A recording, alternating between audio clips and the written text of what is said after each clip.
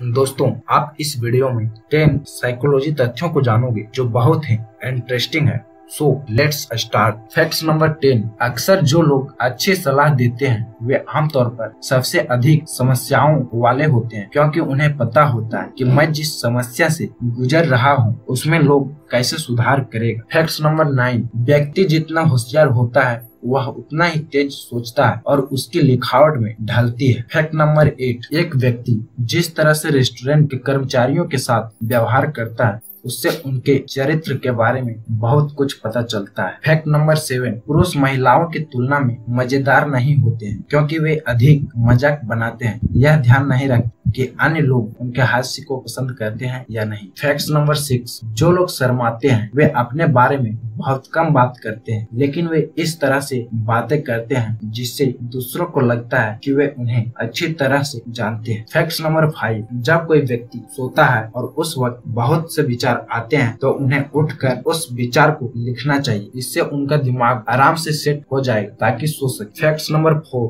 good morning और good night text message मस्तिष्क के उस हिस्से को सक्रिय करता है जो खुशी के लिए जिम्मेदार है। फैक्ट नंबर थ्री, एक महिला को किसी अनहोनी या किसी चीज़ें को गुप्त रखने की औसत मात्रा सैतालीस घंटे पंद्रह मिनट हो सकती फैक्ट नंबर टू, हर किसी को खुश रखने की कोशिश करने वाले लोग अक्सर अकेलापन महसूस करते हैं। फैक्ट नंबर वन, बुद्धिमान लोग औसत व्यक्ति की तुलना में कम दोस्त रखते हैं। चूँकि व्यक्ति जितना होशियार होता है, वह उतना ही चयनात्मक होता है। अतः दोस्तों, आपको यह वीडियो कैसा लगा?